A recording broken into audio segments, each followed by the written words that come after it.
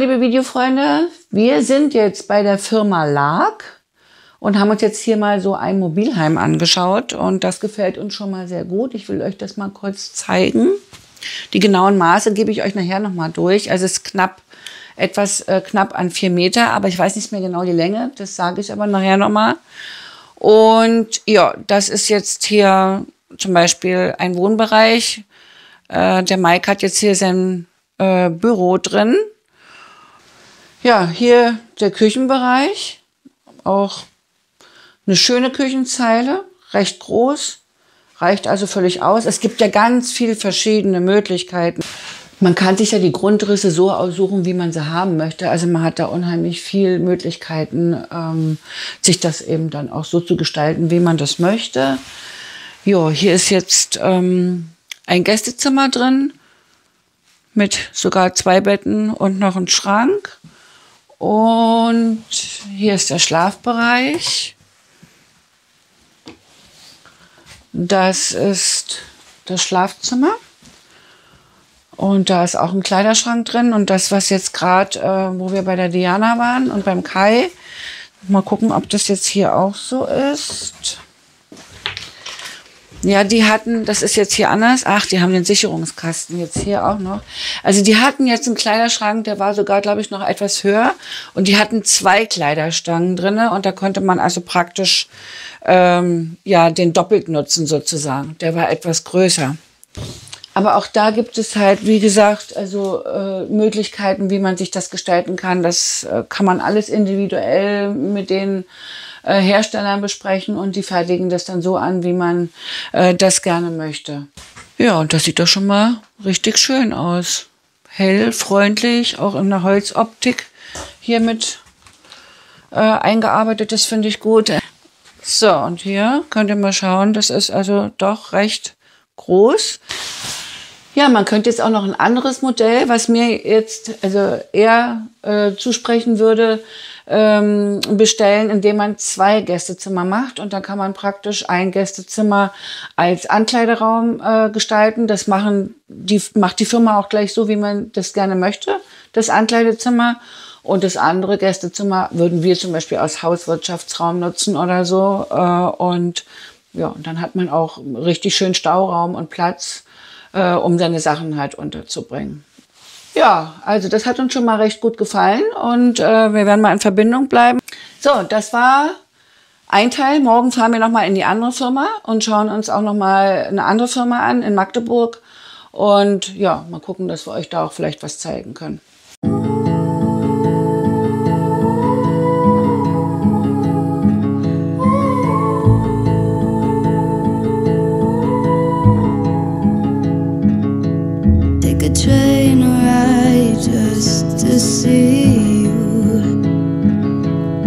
for hours just to please you.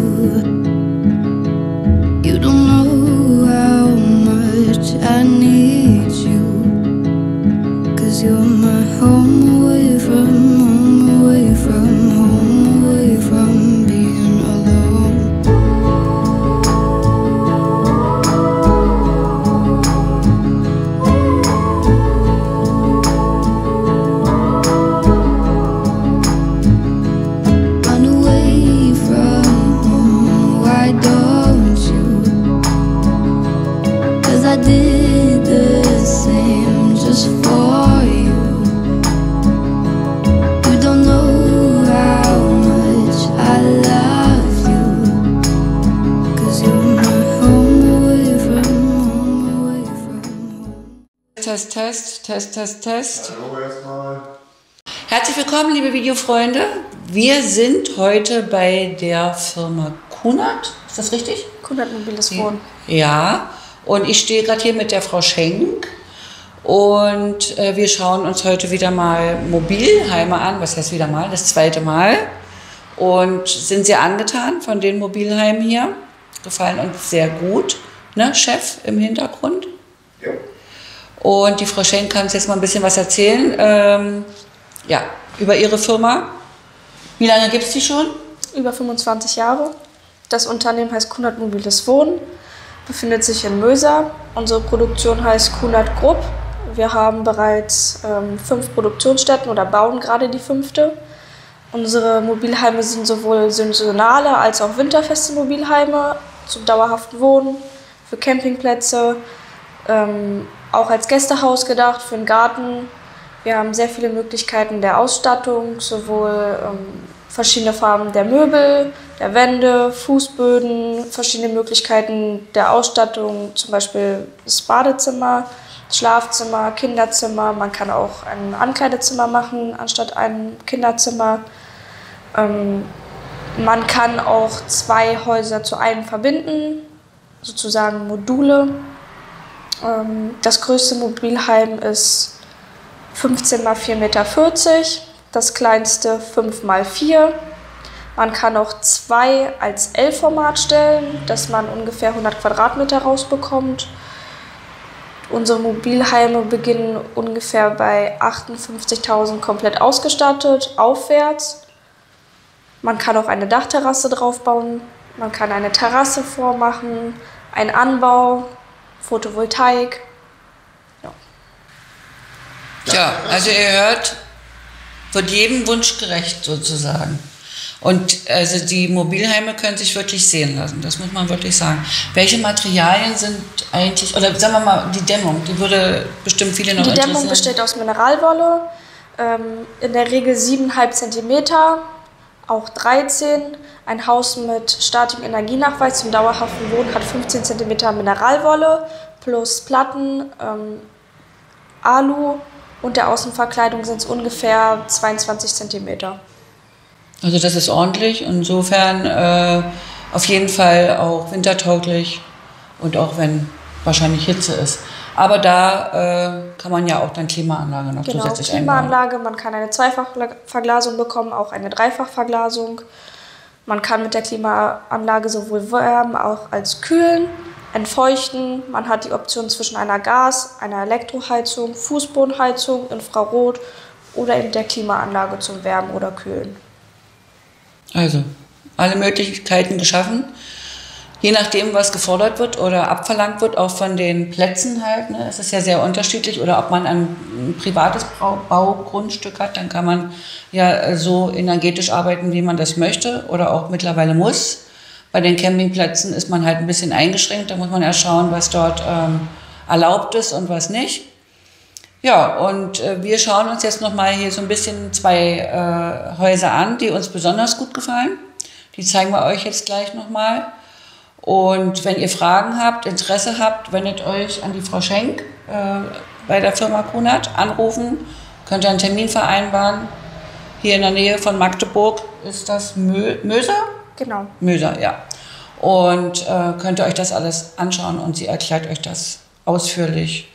Und dann kann man mal richtig äh, schwelgen und in den Katalogen blättern und dann kriegt man ganz schnell Lust, Ne? Michael nickt auch im Hintergrund, der ist ganz begeistert, ähm, weil wir ja uns diese Wohnart für ja, die Zukunft vorstellen können. Und von daher werden wir mal schauen, was das Ganze jetzt so bringt. So, dann schauen wir uns mal jetzt die Mobilheime an. Wir befinden uns gerade in dem Mobilheim Santiago. Das Haus Santiago ist 12,50 Meter lang, 4 Meter breit. Wir stehen gerade in der Küche. Man hat viele Optionen der Küchenausstattung, sowohl andere Farben, ein Gasherd, Elektroherd, Induktion. Man kann eine Einbaumikrowelle bekommen, sowohl auch einen Backofen oder eine Mikrowelle mit Backfunktion. Auch ein Geschirrspüler, 45 cm oder 60 Hängeschränke kann man sich aussuchen, die Dunstabzugshaube, den Kühlschrank, entweder ein kleineren oder einen größeren mit Gefrierkombinationen. Ist alles möglich. Das Wohnzimmer ist meist leer.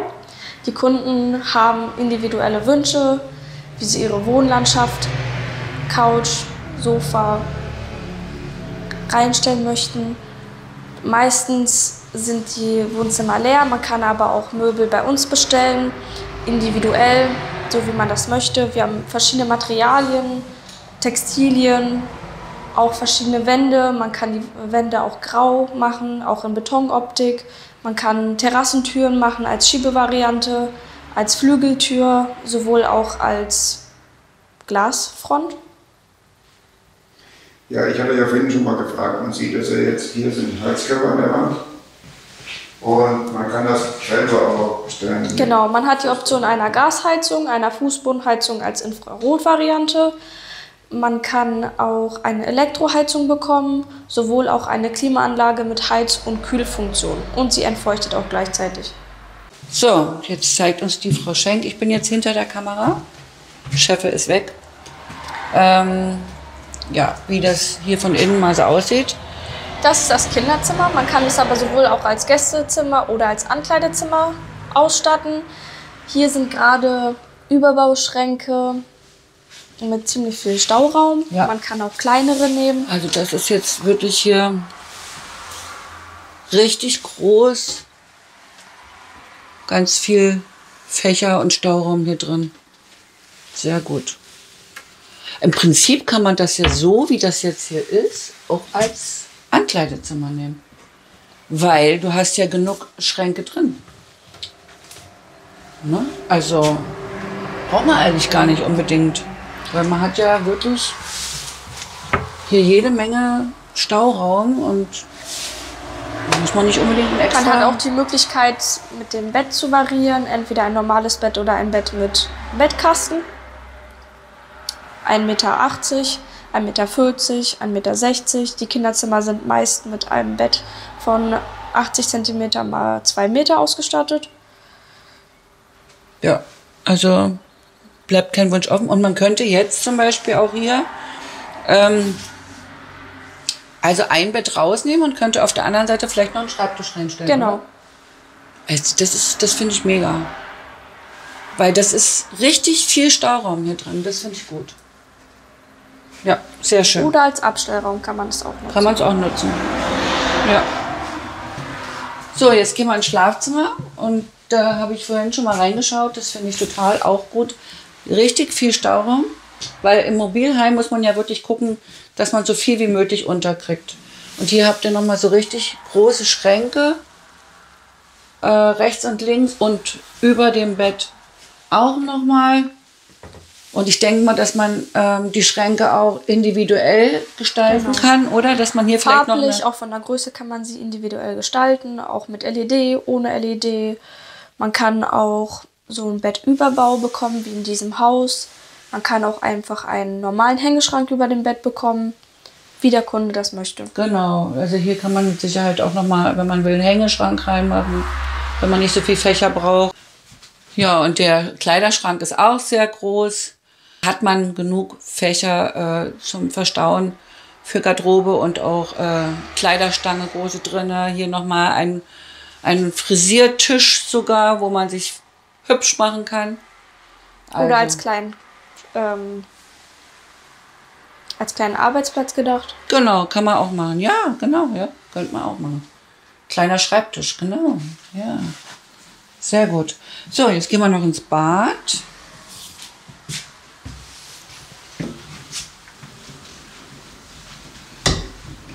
Auch sehr schön gestaltet. Große Dusche, große Spiegelschränke.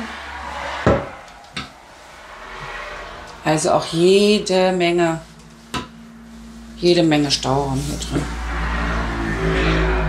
Man hat auch die Möglichkeit, zwischen den Materialien zu wählen. Man kann eine Fliesenoptik nehmen, eine Holzoptik, Marmoroptik.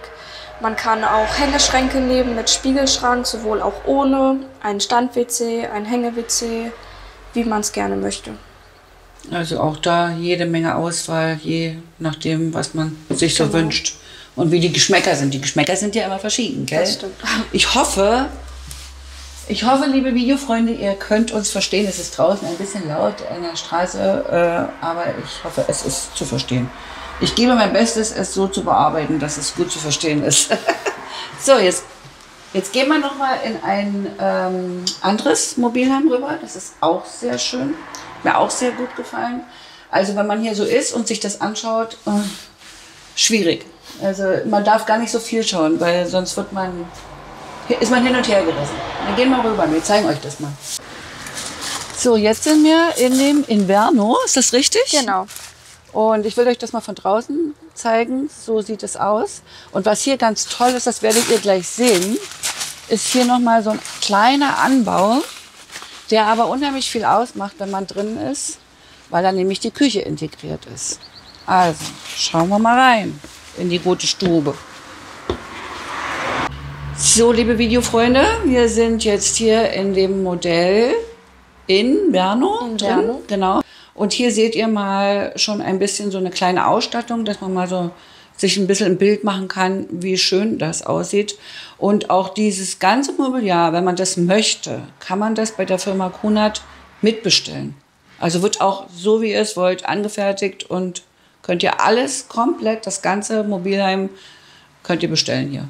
Genau. Mit Inventar. genau. Man kann Wohnzimmermöbel dazu bestellen, sowohl auch einen Couchtisch, eine Couch, ein Esstisch mit Stühlen, ein Sideboard, wie der Kunde das eben möchte. Das ist natürlich mega. Also lässt ihr das Teil hier hinstellen und dann ist ein Fertighaus praktisch da. Und hier seht ihr die Küche, wie ich gerade gesagt habe, draußen. Das ist ähm, hier nochmal so eine kleine, äh, wie sagt man, diesen Anbau, ne? Nische. Nische, ja, richtig, genau, Nische. Und ähm, dadurch verschwindet die Küche natürlich ein Stück weit und man hat hier richtig breiten Platz, um durchzulaufen.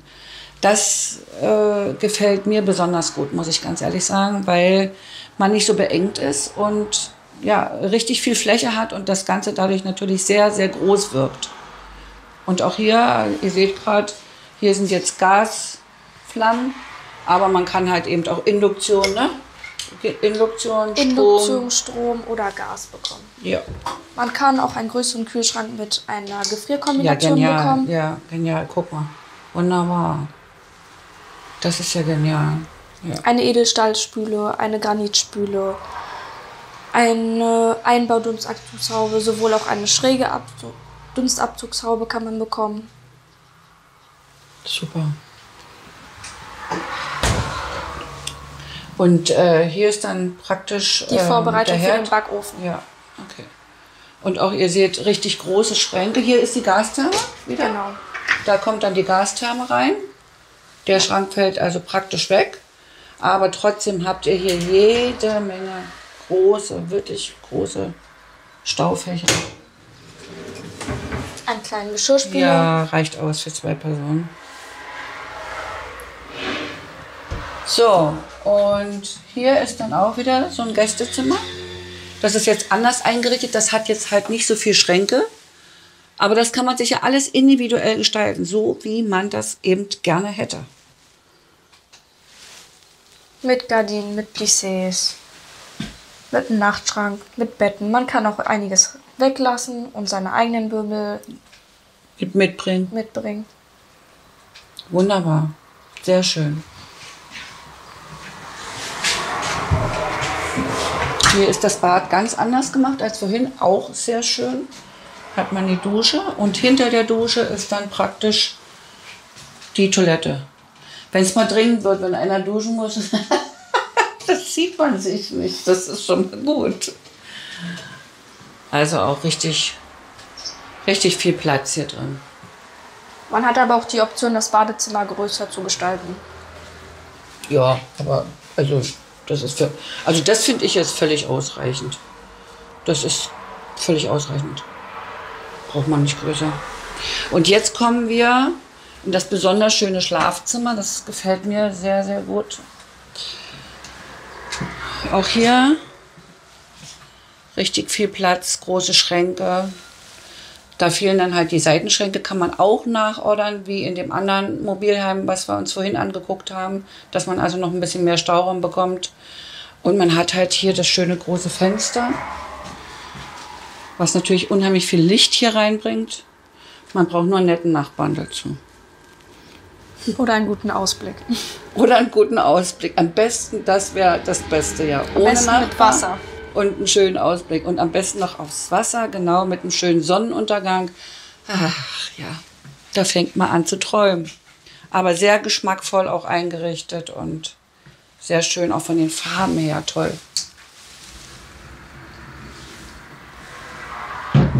Ja, also richtig viel Platz. Also das ist schon ordentlich, was da reinpasst. Und man, wir wollen uns ja ein bisschen minimieren. Wir wollen uns ja dann ein bisschen minimieren und ein bisschen von allem weniger haben. Also reicht das dicke aus.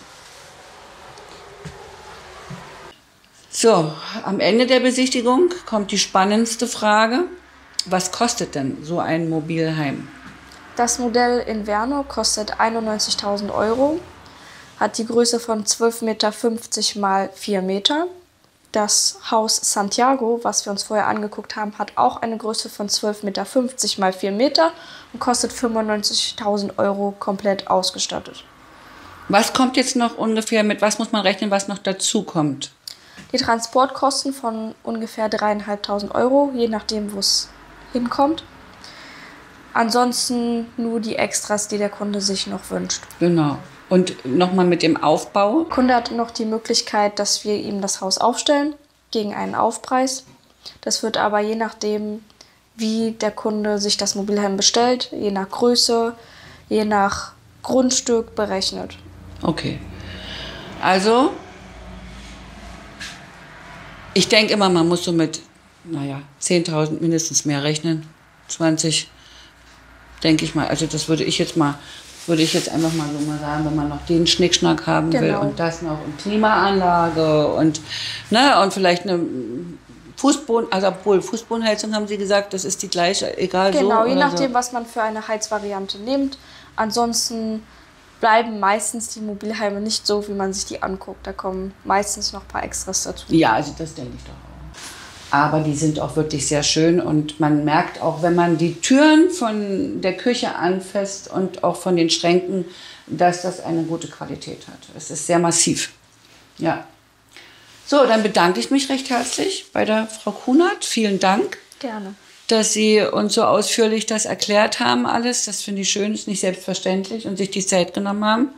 Und wir bleiben in Verbindung. Ich freue mich auch sehr, dass Sie uns besucht haben. Ja, das freut mich. Vielen Dank, gell? Gerne. Herzlich willkommen nochmal, liebe Videofreunde, zu einem Fazit zu unserer Besichtigung äh, der Mobilheime. Eigentlich hatte ich das mit Michael schon zusammengedreht, aber leider Gottes hatten wir einen falschen Fokus eingestellt und ähm, war auf Folgemodus gestellt und jedes Mal, wenn wir uns bewegt haben, hat er versucht, neu zu justieren und also ich konnte das ganze Video überhaupt nicht nehmen und, und als ich das gemerkt habe, war Michael schon wieder weg zu, und unterwegs und deswegen, äh, ja, muss ich das nochmal alleine machen, leider. Ja, wir sind ja dann weg äh, von der Firma Kunat und sind nach Hause gefahren und auf dem Nachhauseweg war es erstmal so ein bisschen ruhig. Wir mussten das auch alles erstmal so ein bisschen sacken lassen und auch verarbeiten. Und dann sagte dann Michael irgendwann, feine Sache. Also das, ja, das würde ihm gefallen. Ja, ich fand's auch gut. Also das ist ja eh so ein bisschen meine Idee gewesen, weil ich, das fing gar nicht so an, dass ich mal äh, komischerweise auf YouTube Reportagen über Dauercamper gesehen habe. Und kam so im SWR und im WDR und so. Und das gibt's ja manchmal so auf YouTube dann eben äh, diese Sendung, die man dann gucken kann. Das habe ich geschaut und fand das irgendwie total lustig. Also weil was mir gut gefallen hat, war halt eben auch diese Gemeinschaft auf dem äh, Campingplatz und ja, dass so jeder jedem auch bisschen hilft und da so eine soziale Struktur herrscht und miteinander auch Klar, es gibt immer, das ist ganz klar, auch ähm, Menschen, die man vielleicht nicht mag. Damit muss man dann rechnen. Ne? Aber gut, also das hängt ja auch immer ein bisschen von einem selbst ab, wie man auf jemanden zugeht. Und ähm, also ich mache mir da jetzt nicht so viele Gedanken. Es ist immer vielleicht einer dabei, den man nicht so mag, aber es ist ja nicht so, dass alle dann irgendwo schlecht sind, sondern meistens ist das ja die Minderheit, mit der man nicht zurechtkommt halt. Ne? Und von daher mache ich mir nicht so viele Sorgen um das Thema.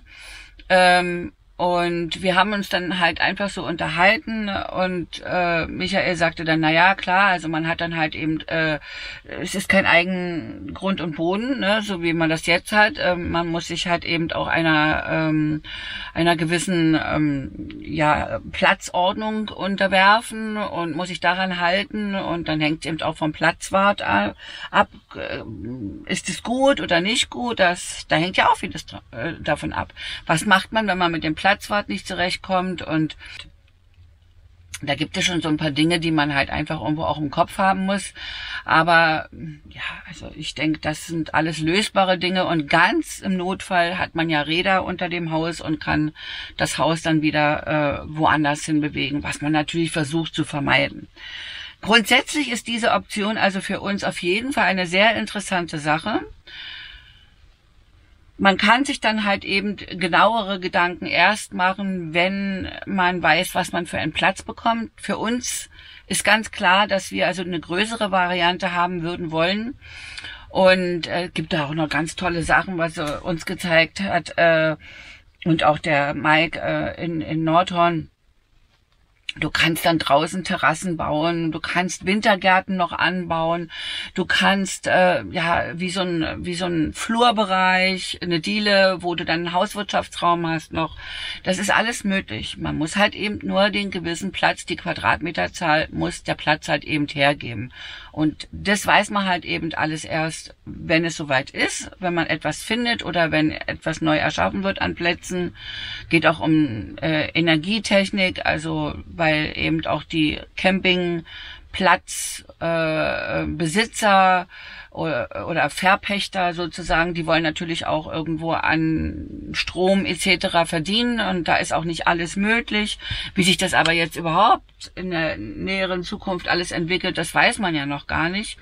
Wir haben eh noch zwei Jahre Zeit, weil zwei Jahre müssen wir sowieso noch in unserem Haus wohnen, weil dann die zehn Jahre erst um sind und man dann äh, steuerfrei verkaufen kann, sonst müssen wir ja Steuern bezahlen. Und von daher haben wir noch ein bisschen Zeit nachzudenken und, und uns auch noch äh, vielleicht ein oder das ein oder andere Mobil anzuschauen. Ähm, wir haben treffen uns vielleicht jetzt im Mai ähm, mit Frieda und Hadi, die wir in Norwegen letztes Jahr kennengelernt haben. Und die haben nämlich auch in Deutschland, also in Hessen, äh, ein Mobilheim. Und immer wenn die dann nach Deutschland kommen, wohnen die da und wollen auch später dort leben, wenn sie wieder nach Deutschland zurückkommen aus Norwegen. Das wollen wir uns jetzt im Mai eventuell mal anschauen. Und ja, und dann muss man halt eben mal sich umhören und umschauen, was es so dann für Möglichkeiten gäbe an Platz und ob bei uns in Cottbus was geschaffen wird. Man ist da dran, aber das zieht sich alles und naja, die kommt eh nicht aus der Hüfte. Und ich will aber nicht so weit weg, weil ich eben meine Mama auch in Cottbus begraben habe und ich möchte einfach nicht das Grab so weit weglassen. Ich möchte die Möglichkeit haben, halt eben auch dorthin zu gehen und äh, auch das Grab also zu gestalten. Zum Gießen findet man immer vielleicht mal jemand, eine Firma oder so, aber ich möchte einfach das nicht so hinterlassen. Das möchte ich nicht. So, Punkt. Also müssen wir irgendwo in der Nähe bleiben und uns und etwas suchen. Aber es gibt ja in Brandenburg schöne Ecken und ja, man muss mal schauen, ob es da den ein oder anderen Platz vielleicht gibt. Ich habe so gesagt, im Umkreis von 200 Kilometer wäre das für mich in Ordnung äh, dass wir da vielleicht irgendwas finden. Würde sich natürlich Cottbus anbieten, keine Frage, weil bei uns wird geflutet, haben wir ja gesagt der Ostsee entsteht und ich hoffe, dass es dann solche Möglichkeiten geben wird und bin da auch dran, also kümmere mich da auch so ein bisschen drum, habe das so ein bisschen zu meinem Thema gemacht und ähm, ja, aber wenn das dann wirklich so sein sollte, dann ist das, glaube ich, für uns eine recht gute Option. Ja, also das nochmal zu unserem Fazit praktisch zu der Besichtigung von den Mobilheimen. Ähm, ja, ich bin mal gespannt, was ihr so sagt, äh, ob das für euch irgendwas wäre oder nicht. Ähm, ja, schauen wir mal. Also, bin mal echt gespannt, was, ob es von euch ein paar Kommentare gibt oder nicht. Und ähm, dann sehen wir uns im nächsten Video wieder. Habt lieben Dank, dass ihr dabei wart und dass ihr zugeschaut habt. Und dann bis zum nächsten Video. Macht's gut. Tschüssi.